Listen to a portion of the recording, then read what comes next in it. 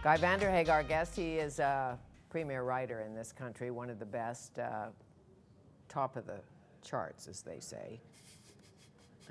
well, you're making me well, you're making me blush. Actually. Well, you don't have to be humble anymore because you're making money, you know, and uh, selling lots of books. How many are, are, these translated in many different languages? Uh, yeah, well, my, my, books in the past they started out tending to be translated into Scandinavian uh, languages, uh, but you know, French, um, et cetera, et cetera. Sure. Well, when this book is written about by critics, they call it, he, he writes about the last of the Wild West. What do you think that means, the last of the Wild West? You know, I'm, I'm not actually quite certain what they mean, but I, I think I, have devoted three books to the 1870s mm-hmm. uh, in a particular place and time, which I think of as being a, a time of radical change. In the 1870s, many of the native peoples were still living a traditional way of life. By the late 70s and the early 80s, they had been basically forced to sign treaties mm-hmm. uh, and were, were, were being kept on reserves.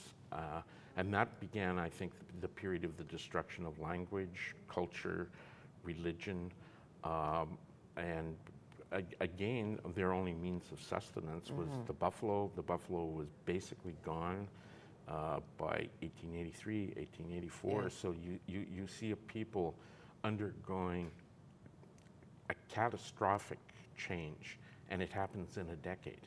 And what is egalitarian about it? Not much. Yeah, yeah. Uh, and the differences between the cultures, the, the US and, and Canada, and uh, I'm sure if people aren't historians, they don't really know uh, what Sitting Bull did when he sat here.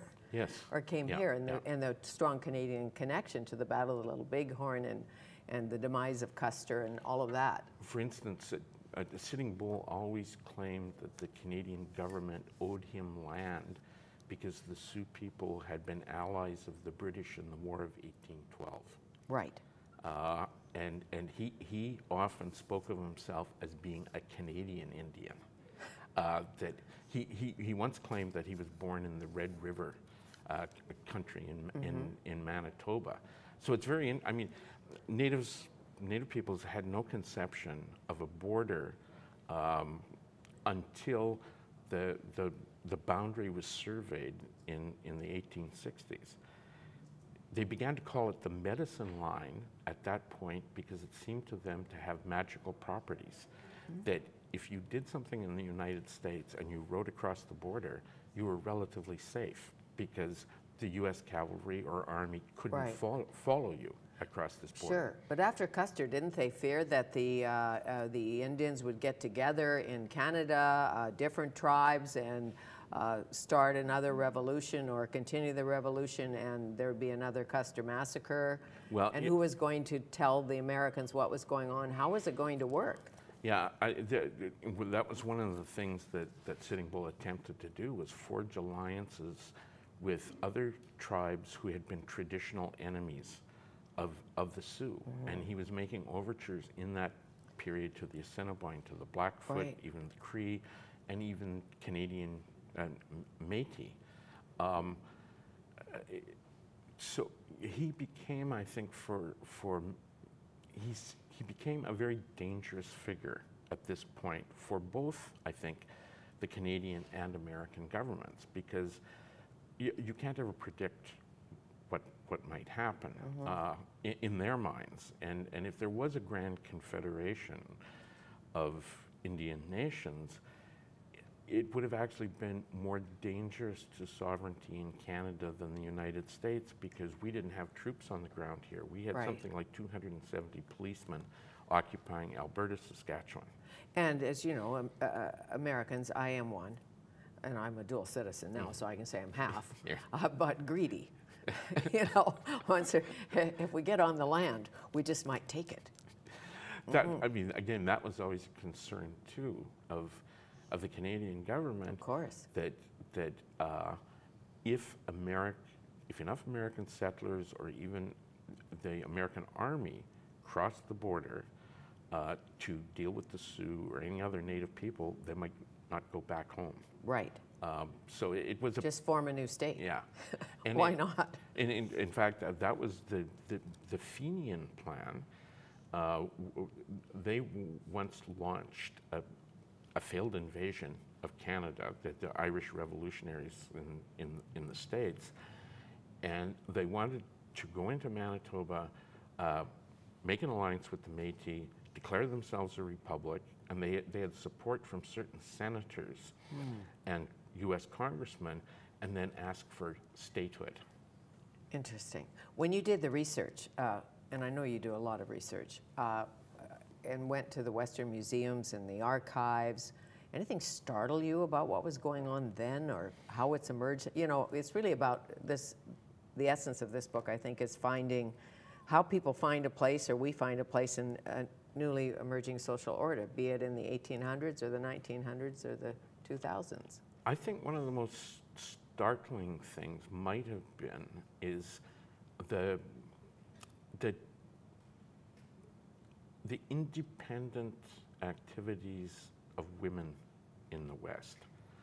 Um, for instance, like the Homestead Act actually gave women an equal right to the property with, with their husbands, which was extraordinary at that point of time. Uh, and it was both in the Western United States and Western Canada that women often got the vote sooner um, they did than they did in in other jurisdictions in both Canada and the United States. Um, you know, pioneer women are sometimes kind of projected or shown um, as helpmates to the to the males, but they had a they had an independence, I think, or often had an independence at that time that was extraordinary. A survival, a calamity Yeah. Jane Yeah. part of them that had to survive because maybe the husband didn't, Right. or you know, it's tough times, And often, tough y- stock. yes, and often got uh, in, involved in quasi-political activity and Mm. I like that. educational. I don't think we got the vote till 1920 or something. Yeah, yeah.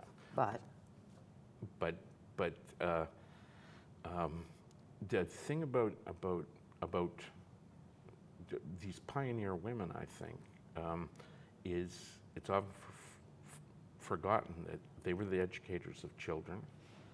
Um, they they had societies uh, that gave them a certain amount of of support, uh, you know, w- with each other. So it the West is often, I think, depicted in literature and movies and things like that, and the only people that you might see is the schoolmarm and the saloon girl or the dance hall Right. girl, but we kind of forget how active women were and how important they were to the formation of the society. mhm. well, they weren't all Miss Kitties. No, No, but when you played Cowboys and Indians, and I did, is that politically correct anymore? I don't know no, if, it, if you it, can. it, it, I, I wouldn't be you can't, but I was correct. always the Indian princess. Aha, good. What were you? I, I was almost always the Indian. And one of the reasons I was almost always the Indian was that I had a, a Pinto Shetland pony. Uh, so I, Of I, came, course. I came fully equipped. I had a Pinto too, but not Did a you? Shetland. Yes, Ah, yeah, well, frisky. yeah. Brown and white, really fat. Mine was Patches. And, Patch, and Patches was fat too. Frisky and Patches. Okay, so tonight you will be speaking about the Wild West, about a good man at Waterfront Theater at 8 p.m. Right. Nice to see you. Nice to see you. Thank Thanks. you. Thank you. Guy Vanderhaeghe, uh, third in the trilogy, A Good Man, and he is. Coming up, Dennis, you see, I'm flattering you again. I don't know what that's about.